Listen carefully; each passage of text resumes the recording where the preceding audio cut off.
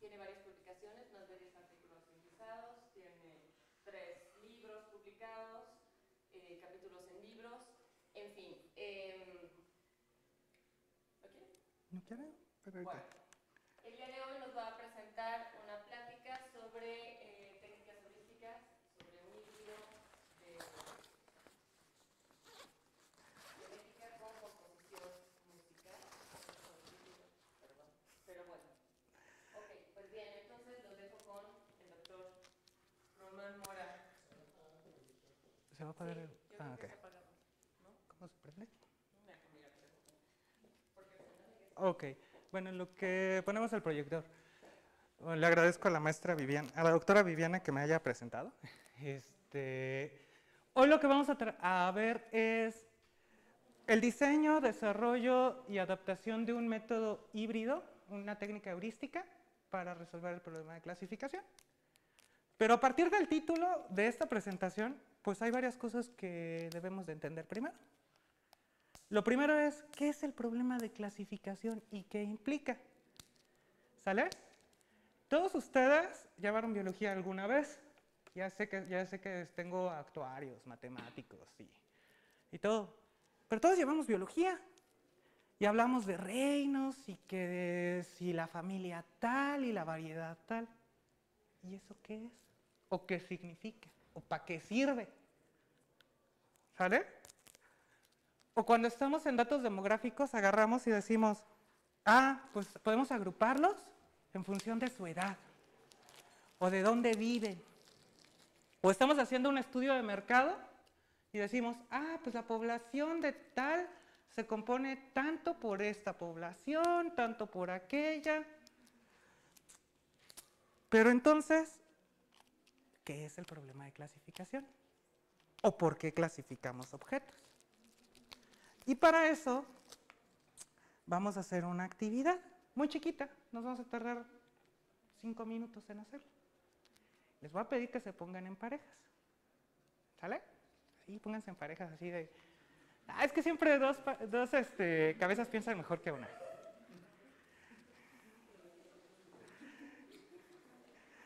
¿Sale?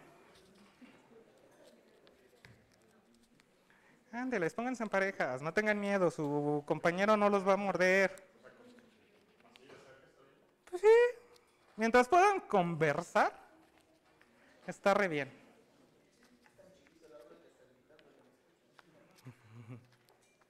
Bueno, sí está chiquita el aula, pero vamos a intentar trabajar.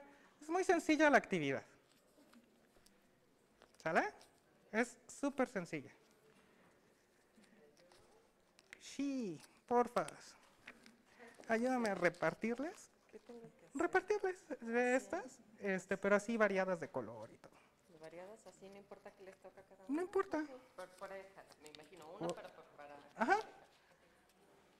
A ver. Te doy esta. Te doy este papelito. Te doy esta de acá. A ver, te doy estas. Te doy estas de aquí. Te doy estas. A ver. Te doy esto. ¿Ya les tocaron mariposas? ¿Ya tienen mariposas? ¿Quién no tiene mariposas? Ay. ¿Quién no tiene rectangulitos? Ah, playeras. Sí, todos también tienen que tener playeras. Rectangulitos. No tienes rectangulitos, te doy de estos rectangulitos. Y te doy verdes, para que tengas. Y les doy estas mariposas amarillas. Ajá, no importa el color. Toma estas mariposas. Créeme, te van a servir. Ok, la idea es bien sencilla. Tienen esos objetos que están ahí todos revueltos. Formen el menor número de grupos con esos objetos. De forma tal que puedan decirme que los objetos contenidos en cada grupo tienen rasgos comunes. ¿Sale? A ver, tienen cinco minutos para hacerlo. Sí, así agarren y... El menor número de grupos con rasgos comunes. Algo que esté dentro de un grupo tiene que parecerse a su, a su hermanito que está allá adentro. Semántica, color, forma, peso, largo, ancho, lo que quieran.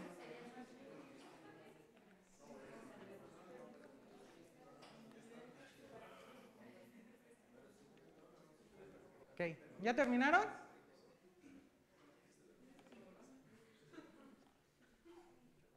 ¿Ya terminaron? Ok, a ver, empecemos. Allá atrás. Muéstrenos, ¿cuántos grupos formaron? Ok, cinco grupos. ¿Y cómo los dividieron?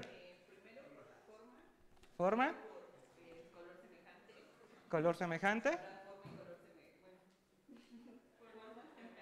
Ok, usé dos características, forma y color. Y así tuve cinco grupos. ¿Ustedes cómo clasificaron? Por color. Y solamente forman dos grupos, les tocó rosa y amarillo. De hecho, si, si fuéramos así muy puristas, serían hasta tres grupos, porque hay un rosa claro y un rosa fuerte. ¿De aquel lado? Los que tienen ángulos rectos y los que no. ¿Sale? Y nos formaron dos grupos. Acá. Por color, por forma y por peso. Ok, ¿cuántos grupos formamos? Tres grupos. Acá, ¿cuántos formamos? Uno de color. ¿Uno de color? misma forma. Y uno del número de vértices. Eso pues, también puede ser. ¿Y acá? por forma, por color. eh, ¿Cuántos grupos formaron? Tres grupos, es decir, los que son cuadrados rosas, los que son rectángulos amarillos y los que son mariposas, pero ahí hay como una mariposa amarilla ahí adentro. Ok. Ahora sí, ¿qué es la clasificación? La clasificación es la tarea a partir de la cual yo describo objetos a través de sus rasgos, pueden ser físicos, químicos, biológicos, etc., etc., etc., y los agrupo en elementos homogéneos. Para el ser humano es una tarea trivial, pero para la máquina no. Para una computadora, la tarea de clasificación no es trivial y tampoco es sencilla. ¿Por qué? Porque una computadora no puede ver, no puede sentir. ¿Sale? Algo que parecería para nosotros tan, trivial como decir, esto es un cuadrado y esto es una mariposa, hacen grupos diferentes, para una computadora no es tan sencillo. O esto es rosa fuerte y esto es rosa claro. ¿Sale? Entonces el problema de clasificación involucra generar una función, una regla, que tomando las propiedades del objeto me determine a qué grupo pertenece. ¿Sale? Y este es un tema de aprendizaje de máquinas, porque aquí vamos a hacer uso de dos cosas. Un conjunto de datos de aprendizaje, es decir, ahorita si yo agarro y les digo, cambien las figuras que tengan con su vecino de al lado, ya tienen una forma de clasificar, ¿sí o no? A ver, cámbienlas. Con sus vecinos de al lado así de, dame tus formas y yo te doy mis formas. Respetando la idea que originalmente tenían, divídala en grupos. ¿Sale? Originalmente ustedes dijeron por color, entonces por color. Acá me dijeron por forma, por forma. Acá por color y for, por ángulos rectos o sin ángulos rectos.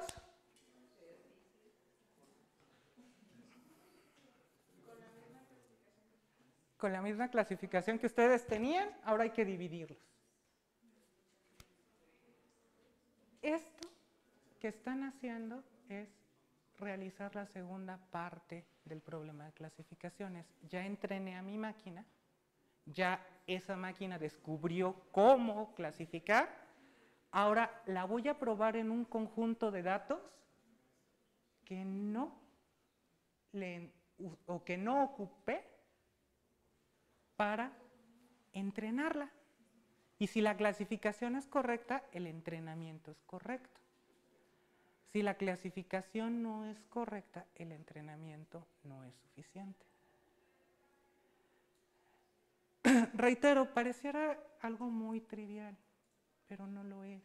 Y tiene aplicaciones, esta idea de clasificación, este problema de clasificación es muy importante. Lo tenemos en biología cuando queremos clasificar familias de plantas, variedades. Lo tenemos en medicina cuando queremos determinar qué enfermedad tiene un paciente. ¿Sí o no? Si el paciente tiene ciertas características, va a caer en algún grupo. La idea es saber en qué grupo cae. ¿Sale? Y esto nos sirve para diagnóstico, nos sirve para hacer prevención, etc, etc. ¿Sale? En actuaría, ¿dónde está?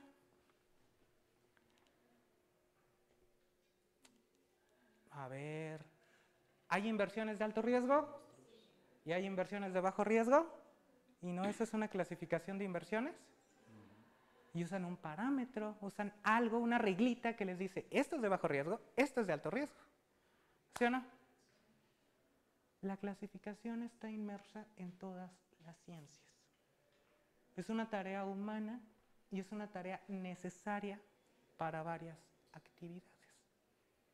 ¿Sale?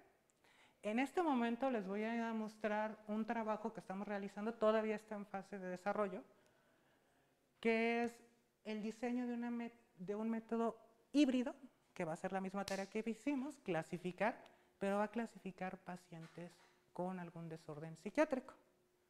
¿Sale? Obviamente esto pues lo estamos probando también en bases de datos este, de problemas bien conocidos y todo esto. Pero en ese título viene implícito una idea, que es una técnica híbrida. Y antes de eso es, ¿qué es una heurística? ¿Para qué caramba sirve? Ok, todos ya llevaron investigación de operaciones 1. O la están llevando. Y ya saben que el problema... Eh, el problema de programación lineal es max o min, una función objetivo, sujeto a un conjunto de restricciones y ya. Bueno. Pero podemos hacer algo más general que eso.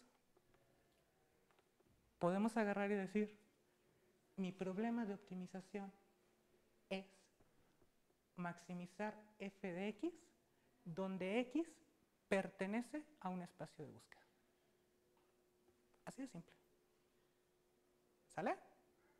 Y esa función puede ser lineal, no lineal, continua, discontinua, convexa, no convexa, y puede tener restricciones lineales, no lineales, convexas, etc, etc, etc. ¿Sale? Y eso nos da una amplitud bien grande de problemas, donde todas las técnicas que hemos visto de, programación lineal ya no nos sirven. Porque es bien bonito agarrar y decir, ah, pues tengo un cuadradito, ¿dónde está el máximo? Ah, pues en un vértice. Tengo un, quiero un mínimo de ese cuadradito, está en el otro vértice. ¿Y cuándo no puedo hacer eso? Y cuando no puedo ocupar técnicas que ya conozco, como agarrar y decir, ah, ok, tengo una función no lineal y voy a encontrar en este intervalo su máximo y su mínimo. Entonces aplico primera derivada, segunda derivada y ya los encontré. ¿Y cuando no puede? Cuando la función no es derivable. ¿Cómo le hacen? ¿Qué se les ocurre hacer? Restringimos la función. Ok, ¿y qué más?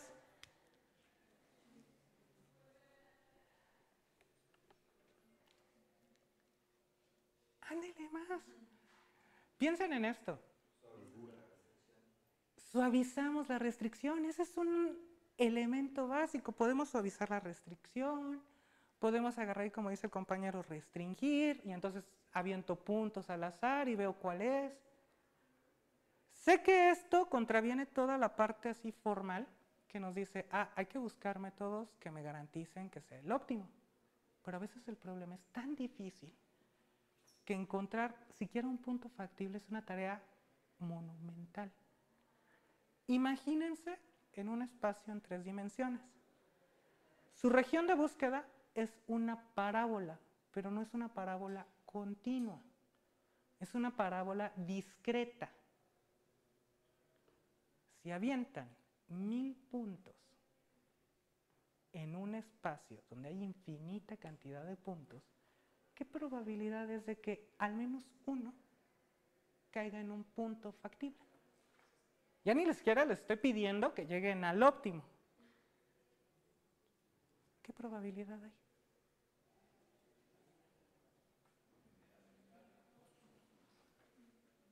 A ver, ¿cuál es mi espacio de búsqueda?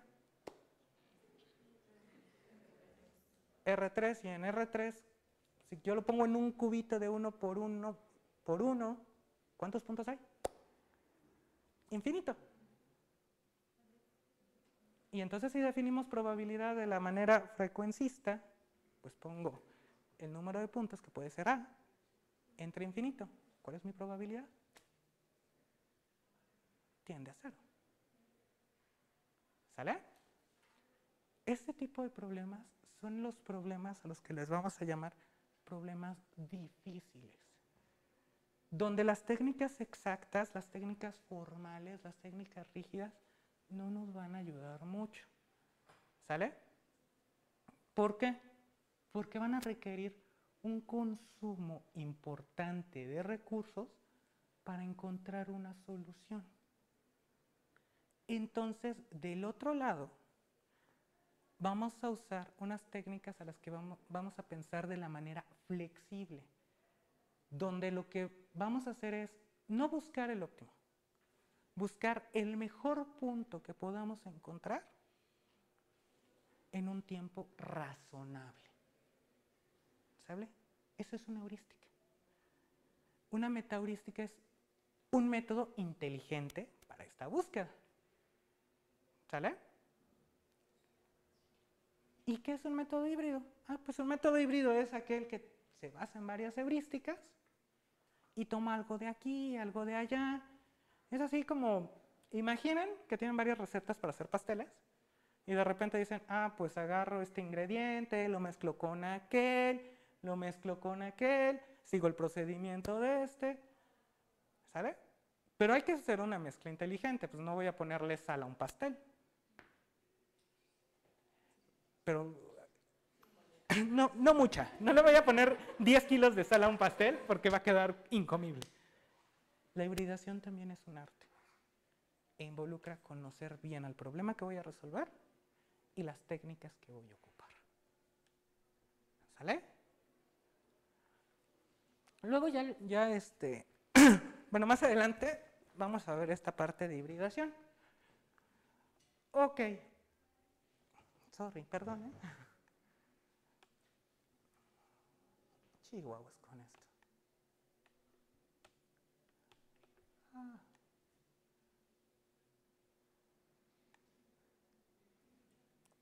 No me hagas esto. No sé si ahí se vea, no creo, ¿verdad? ¿Sí? Bueno, ¿qué vamos a ver? Básicamente vamos a ver primero unas ideas básicas del problema y vamos a ver unas ideas básicas de las técnicas que estamos ocupando. ¿Sale? Ok. Pensemos en esto. Me está diciendo que va a ser un método híbrido. ¿Qué sería lo primero que me deberíamos, debería de presentar? Pues las técnicas que va a ocupar. Ok, en este método híbrido vamos a ocupar dos técnicas heurísticas o dos técnicas de inteligencia computacional que me van a ayudar a resolver un problema. Una de ellas se llama método de composición musical. ¿En qué se basa? En una idea bien simple. Cada uno de nosotros tiene conocimiento, ¿sí o no? Ese conocimiento, a partir de él, puedo construir ideas y puedo tener un full de ideas, así como cinco ideas. Y puedo pensar que esa idea es la mejor forma de resolver algo. Pero ¿qué hago? Todos, todas las personas no compartimos ideas. Nos quedamos callados y decimos, ah, que no me la roben. Y, ahí me quedo con mi bolsita de ideas e intento trabajar solamente con mis ideas. No, ¿verdad? Platicamos con el vecino, platicamos con el amigo. Y entonces él, él me comparte una idea y yo le comparto una idea. Pero también discernimos, ¿sí o no? Podemos decir, ah, mira, tu idea está muy padre, pero no me funciona. Y entonces no la incorporamos.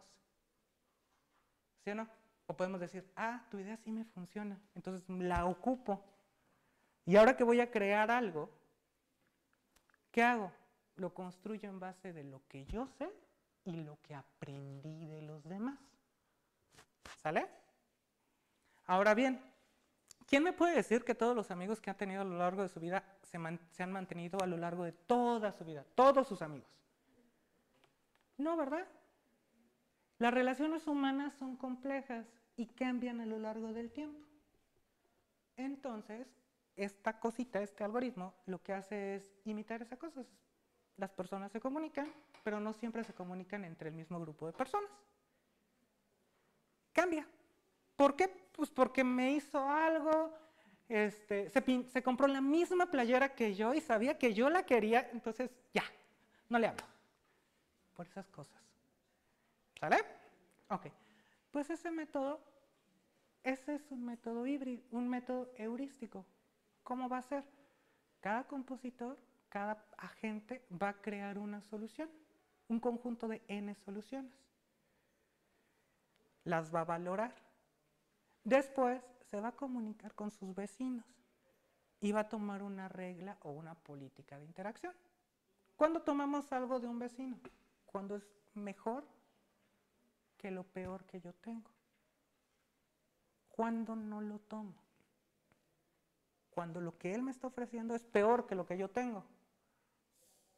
¿Sale? Si yo estoy perdiendo 10 pesos y él me da una idea donde voy a perder 20 pesos, es, ah, está muy padre tu idea, pero no me funciona.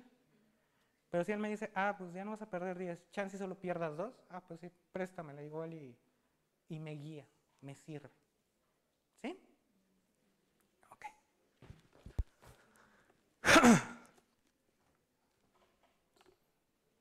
Ok.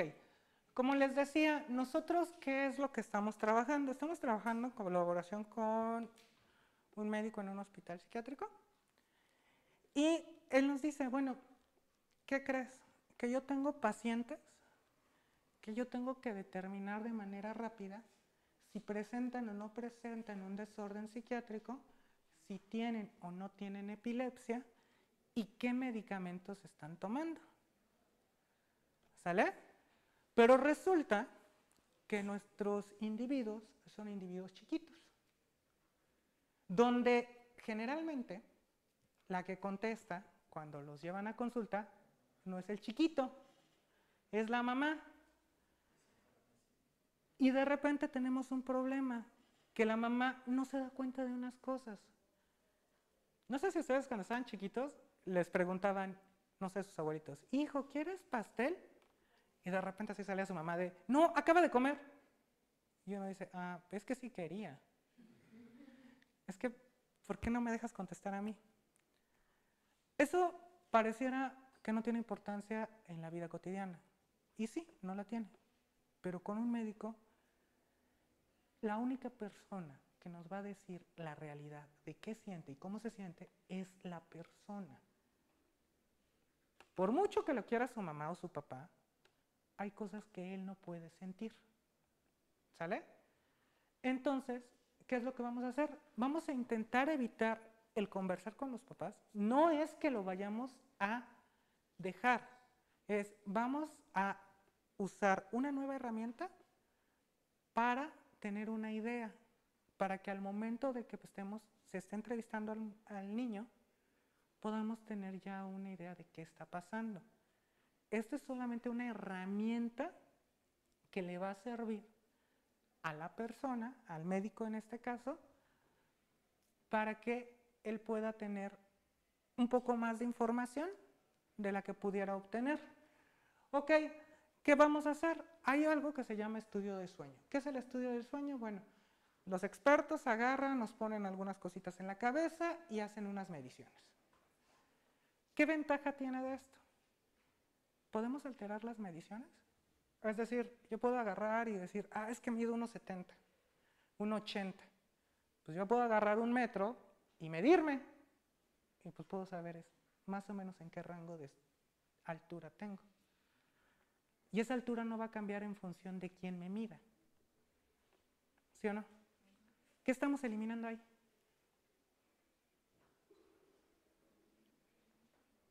¿Qué pasaba con sus compañeros de acá arribita? Rosa. Y les dije, bueno, pero si meto algo de subjetividad, puedo decir rosa claro y rosa fuerte. Pero esa es una subjetividad mía. Y eso lo tenemos que evitar al clasificar objetos. ¿Sale? ¿Sí me estoy explicando? Está padre, ¿verdad? Ok.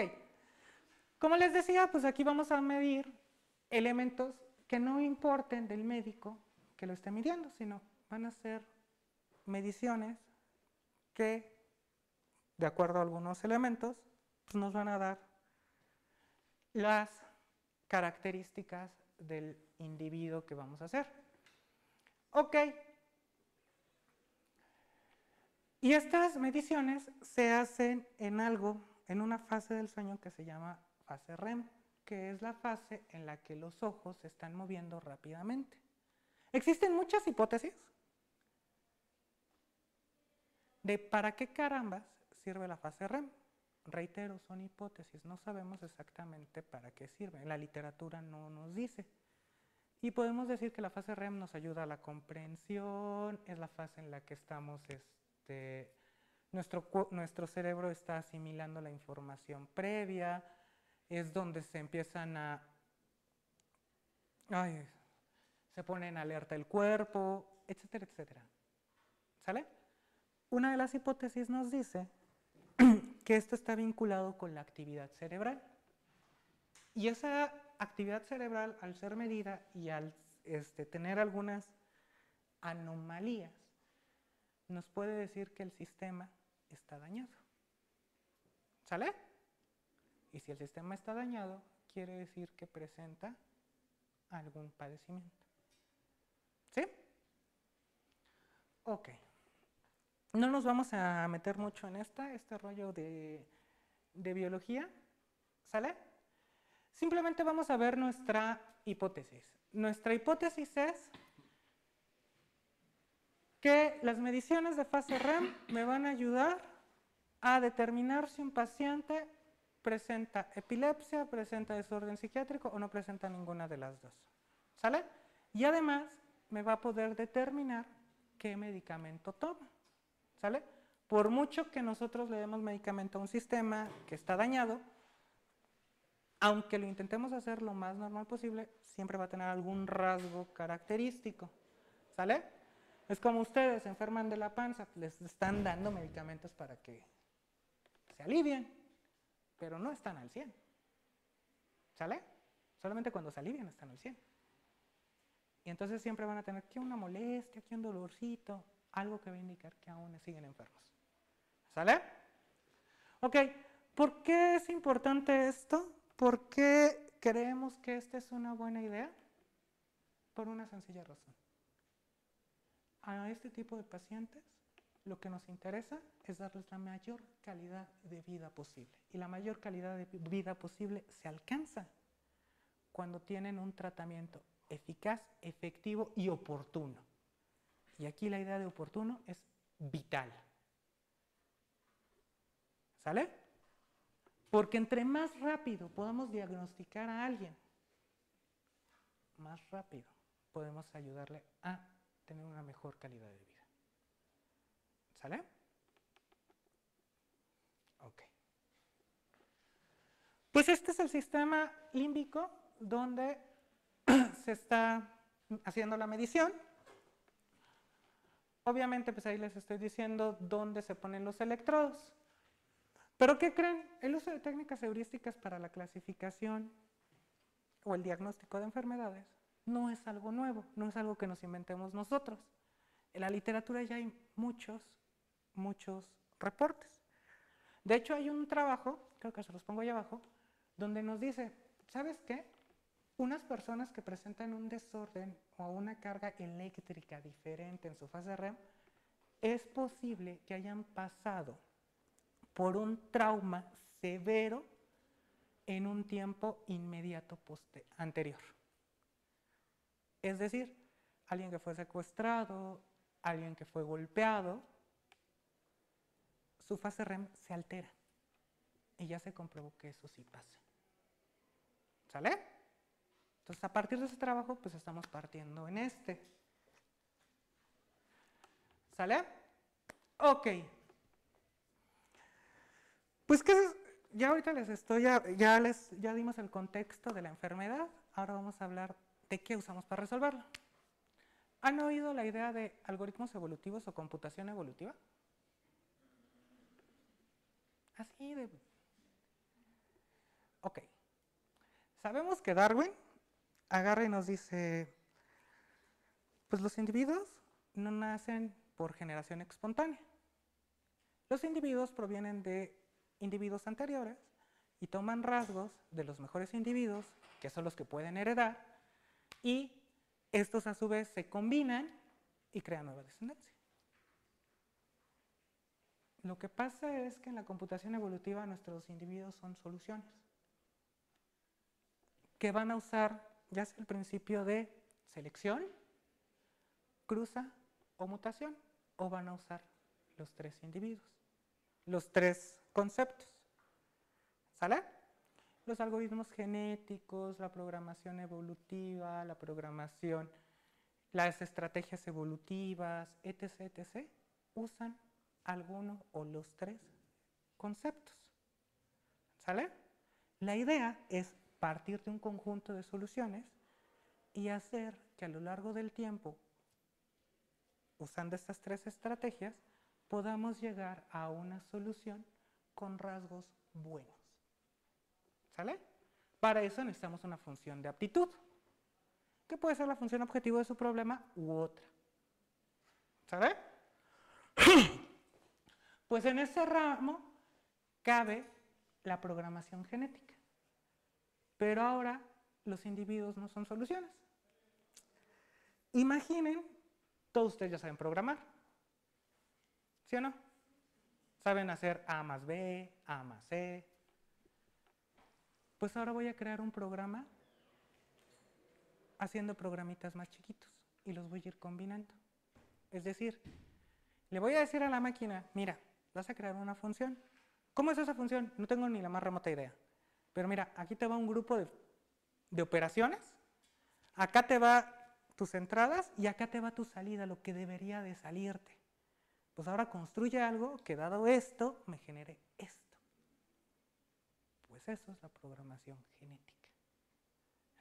Crear nuevos programas a partir de programas. ¿Sale?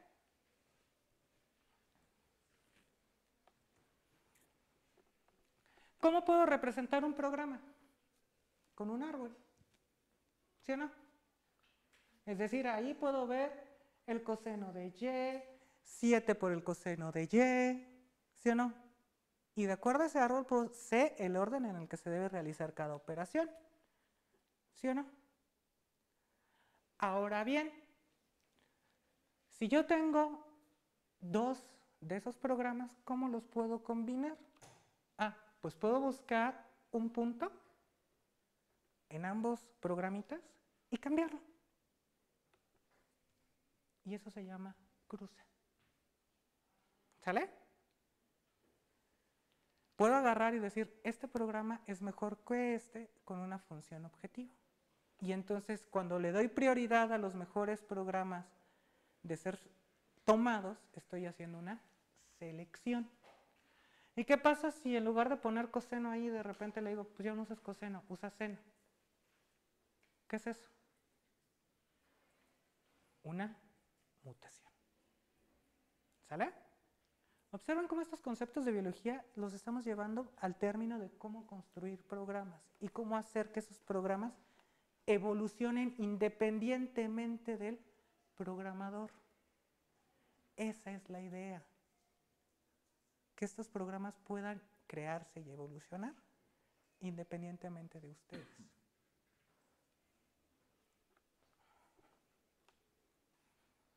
Ok.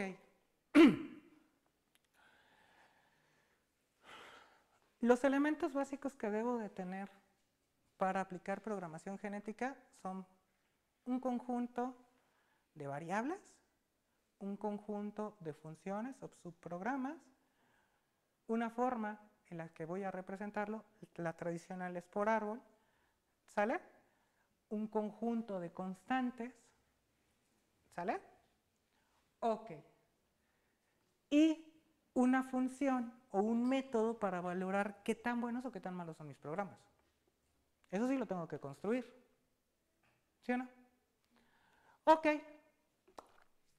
La forma básica o el algoritmo básico para la programación genética es ese. Es, crea un conjunto de n arbolitos donde los nodos hoja sean las constantes y las variables que tú seleccionas, que tú vas a tomar, los nodos intermedios y hasta el nodo raíz sean funciones. ¿Sale? Ok, aquí puedo decir, puede ser un árbol binario, es decir, todas las funciones que voy a meter requieren para generar un argumento tener dos argumentos de entrada. O puedo decir, una función solo requiere un argumento, entonces nada más va a tener un hijito. ¿Sale? Después, ¿qué hago? Valoro mis programas, selecciono cuáles me funcionan, los cruzo como vimos hace ratito y los muto. Y repito eso cuántas veces? K veces. Reemplazando los peores individuos y quedándome con los mejores. Y en eso, ¿qué va a ir produciendo? Programas cada vez más sofisticados, mejor valorados.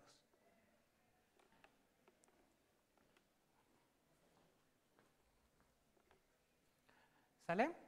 Ok, esta es la idea del método de composición musical. Ya lo vimos. Ya se los expliqué. Ahora, ¿por qué hibridizamos? Pues la idea de hibridizar es muy fácil. Es, en biología, decimos que hibridizamos o que vamos a tomar un híbrido con la idea de vigor híbrido, es decir, que el individuo sume las buenas características de los padres y disminuya las malas características que están presentes en los padres. Por ejemplo, el limón que ustedes consumen siempre proviene de limones híbridos. ¿Por qué? Porque la raíz y el tallo inferior viene de un limón de patrón agrio. Pero nosotros no consumimos limones de patrón agrio. ¿Por qué? Porque son muy ácidos y no se venden. Entonces tomamos limones de, patrón dulce y hacemos un esqueje de forma tal que las raíces de agrio nutran a las hojas de dulce. ¿Por qué? Porque resulta que los limones de patrón dulce tienen unas raíces muy endebles. Entonces cuando hace mucho viento o mucha lluvia, se pueden caer. Las buenas características es que su sabor es agradable. Pero un limón de patrón agrio es muy resistente a esto. Pero su sabor es muy desagradable. Entonces, ¿qué hacemos? Tomamos la parte que nos interesa de uno y tomamos la parte que nos interesa del otro. Y no es la única. Muchas plantas están así. Y muchas técnicas están así.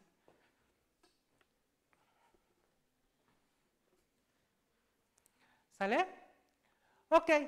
¿Qué es lo único que hicimos? Es, recuerden que hace poquito hablamos de qué es el método de composición musical, es decir, tenemos un conjunto de ideas, las compartimos, etcétera, etcétera. Pero ahora estas ideas no van a ser soluciones, van a ser programas. Entonces, cada persona tiene K programas dentro de sí misma. Y va a tomar de sus vecinos N programas que, de los que va a aprender. ¿Sale? Y va a evolucionar su propio conocimiento. ¿Sale? Pero eso que crea, que yo aprendo Y como, como voy aprendiendo, también voy enseñando a los demás. ¿Sí o no? Entonces hay un cambio in- individual, local y luego social. ¿Sí o no? Y, pero también existe en sentido inverso. Los patrones sociales van jalando a cada individuo. ¿Sale? Entonces no es solamente en una dirección, viene en dos y en tres niveles.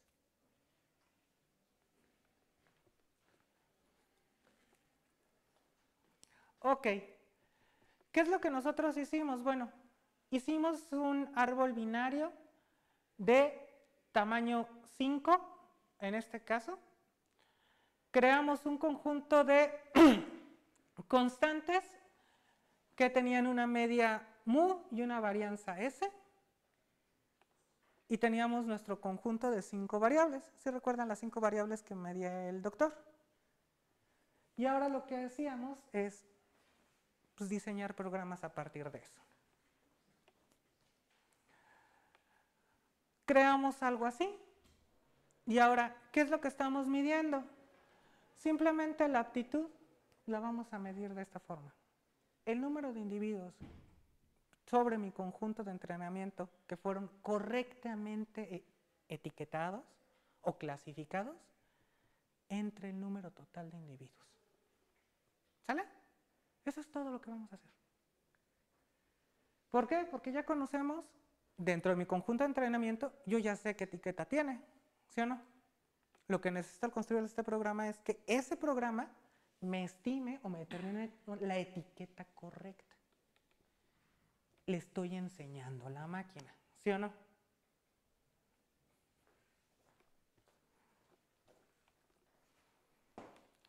Ese es el conjunto de 16 funciones que estamos ocupando.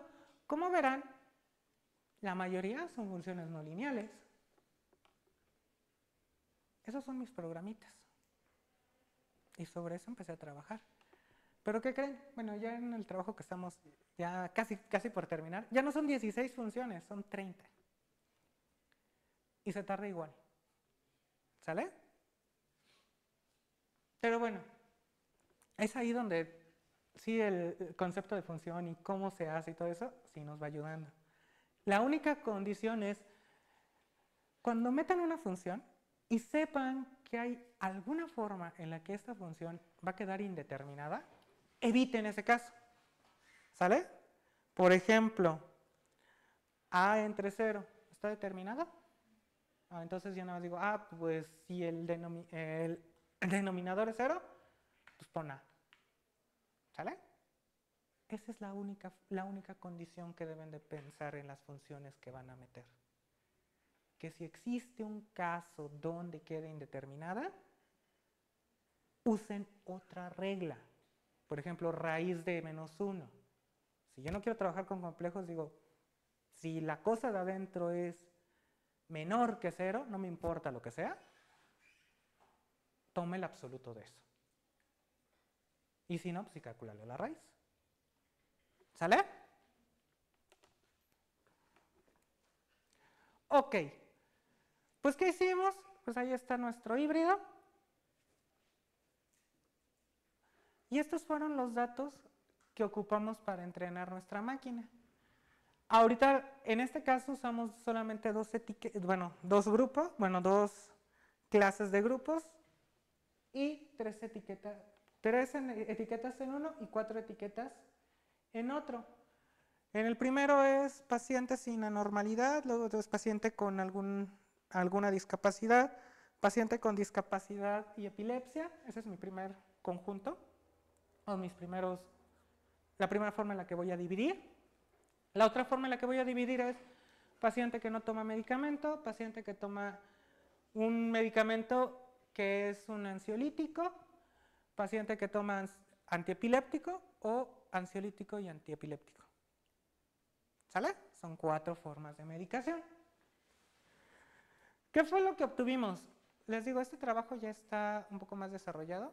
Pues bueno, alimentamos a, nuestra, a nuestro híbrido con lo que necesita y obtenemos eso. Entre más cercano está menos uno, quiere decir que el entrenamiento fue mejor. ¿Sale? Entre más alejado esté de menos 1, quiere decir que nos estamos equivocando mucho. ¿Sale? Ok. Estos fueron los árboles que pudimos crear o los programas que creamos. ¿Sí? Y obviamente, ¿qué es lo que podemos encontrar? Algo característico es qué variables le pegan más a cada uno de estos elementos. ¿Sale? Donde, por ejemplo, estamos viendo en este caso que no todas las variables que se miden me sirven para clasificar en términos del padecimiento psiquiátrico, sino simplemente tres de ellas. Y que requiero otras, un conjunto de las cinco, para saber el medicamento que toman. ¿Sale? Bueno, ¿en qué fase estamos? Bueno, en esta, ahorita estamos trabajando ya con el conjunto de datos de no entrenamiento para determinar si 20 de los programas que, que trabajamos, cuál de esos 20 hace la mejor predicción sobre los datos que no se ocuparon para el entrenamiento. ¿Sale? Y esperamos terminar esto a más tardar este mes. Bueno, solamente les quería presentar algo de lo que estamos trabajando ahí en Azcapotzalco. Y no sé si tengan alguna duda o pregunta. Sé que fue un poco larga la plática y un poco tediosa. Sí, dime. Dos cosas. Uno, ¿cómo lo implementa el doctor? Ah, eso es muy sencillo. Nosotros no le damos esa cosa a él, porque él no lo va a hacer. ¿Qué es lo que hicimos nosotros? A ver si aquí lo tengo. No, este no es. Permíteme. Lo que hacemos es que creamos una interfase para él.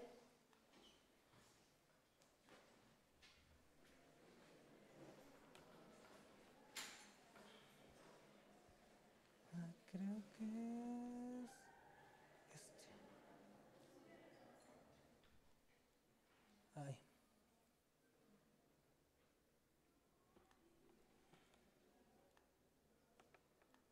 Y ya se murió.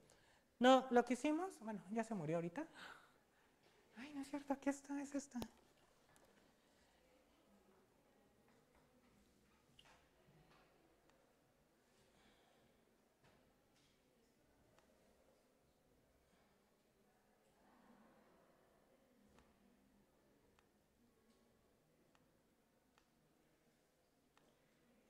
Un segundito, ¿eh?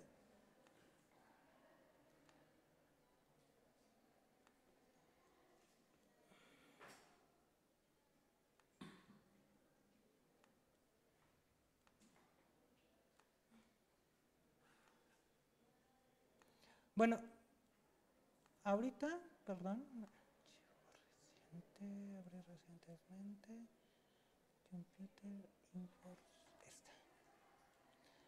Ok, a ver, te enseño qué es lo que hicimos. Este trabajo se acaba de presentar en Canadá. ¿Qué es más o menos los resultados de lo que hicimos? Lo mismo que les acabo de presentar. Sin embargo, aquí viene lo padre. Nosotros no le podemos decir al médico, a ver, apréndete todas las funciones. Nos mata. Aparte nosotros, debemos recordar, nosotros aprendemos un lenguaje y ellos tienen otro lenguaje. El verdadero conocimiento no es hablar con nuestro propio lenguaje, es tener la habilidad de poder expresarnos y ayudar a otras personas con otro lenguaje. ¿Sí? Eso es el verdadero conocimiento. La habilidad que tengamos de transmitir y ayudar. ¿Qué es lo que decimos?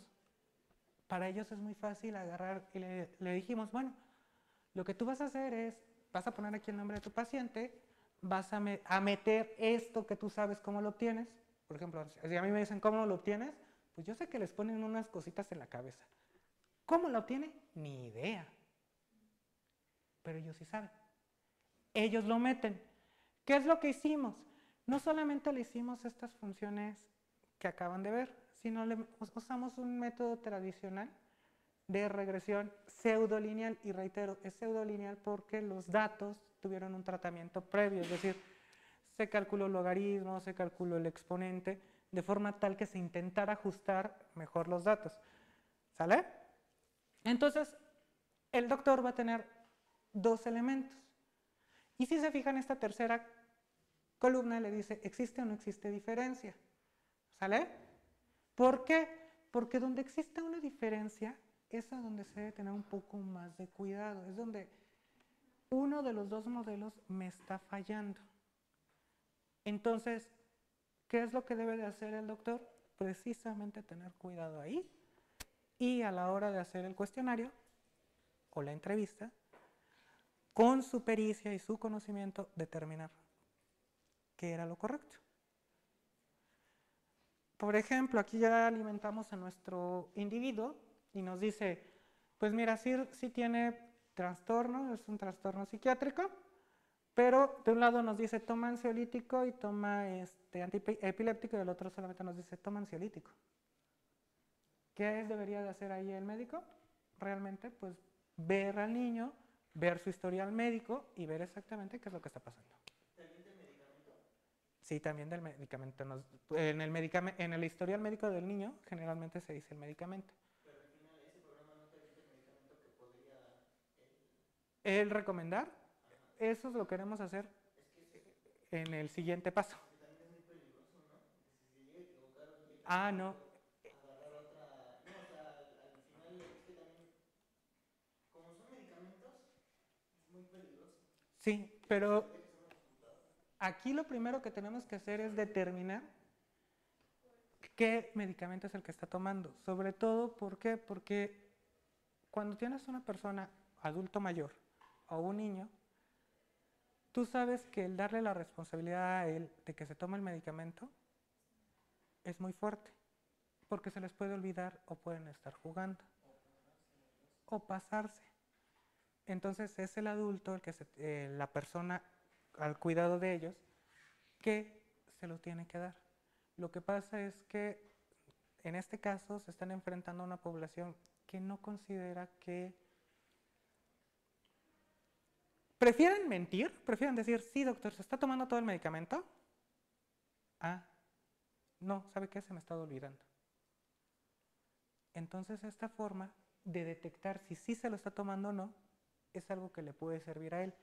El determinar el medicamento no, créeme que ya se han hecho programas así, pero bajo el mismo supuesto. Un programa nunca va a poder suplir a un médico. Es solo una herramienta.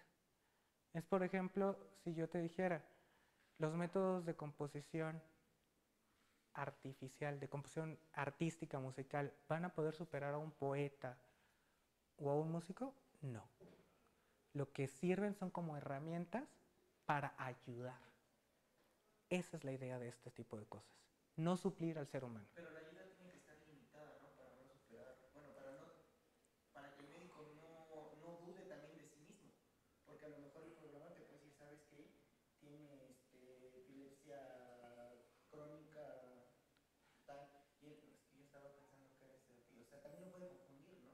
Esto es lo mismo, esto es similar a un estudio de laboratorio. Necesita más elementos para tomar una decisión. No se puede basar en un solo objeto. Por ejemplo, para que a nosotros nos digan gripa, no solamente nos toman la temperatura, ¿sí o no? Nos tienen que revisar la garganta. Es decir, necesito varias cosas. Lo mismo en este caso, es solamente un nuevo elemento que le puede ayudar a él. Esa es la idea. ¿Sale? No es confundirlo. Precisamente por eso se está trabajando con alguien que ya tenga más experiencia. No podemos tomar a un médico recién egresado porque le falta eso, que es la experiencia. Y el médico con el que estamos trabajando tiene 25 años. Entonces, él es el que ahorita nos está validando. ¿Por qué? Pues lo mismo que es la ingeniería del conocimiento. Yo nunca voy a poder reemplazar la experiencia de una persona. Y como no la puedo reemplazar, lo único que puedo hacer es intentarla aprovechar para que las futuras generaciones la puedan tener. ¿Sale? Esa es la idea. No sé si aclaré tu duda. Ok. ¿Algo más? Sí, dime. Las funciones, tu primera función era A más B. A más B. A menos B. Luego, creo que A entre A por B o A entre B. A por B. Van subiendo de com- complejidad, ¿no? Después empieza a definir como A primas y entran como los. Bueno, la división es el primero que tienes el caso. ¿Cómo dijeron, ah, pues, empieza con las. por ser algo más fácil o. o no, o sea, no entiendo cómo. cómo Ok. La idea de las funciones es tú puedes tomar cualquiera funciones. Pero ¿cuáles son las cuatro funciones básicas que nos enseñan? Suma, resta, multiplicación y división. La ventaja de las dos primeras es que son, nos generan elementos lineales. La ventaja de la segunda es que esta, si tú la quieres ver, y yo tengo dos elementos, van también pueden estar contenidos sobre cierto elemento lineal, pero la tercera ya no. La cuarta digo, las otras es intentar trabajar con funciones que en algunos artículos ya se hayan empleado. ¿Sale? Esa fue la idea. Por eso te digo que ya después nos salieron 30 y resulta que algunas de esas que no habíamos considerado están funcionando un poco mejor, que es usar un solo argumento, es decir, C ahora va a ser el seno de A. ¿Y qué le pasa a B? Pues mátalo, elimínalo, córtalo, haz lo que quieras, pero no te sirve. Y resulta que funciona. ¿Sale? ¿Algo más?